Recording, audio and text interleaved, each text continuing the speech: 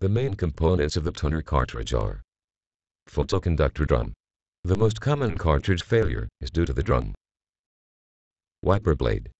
The wiper blade clean any remaining toner from the drum. Developer roller. It carries the toner from the supply chamber to the drum. Toner. Charge roller.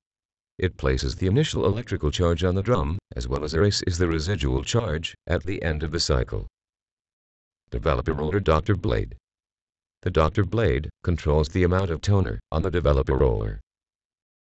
Recovery blade.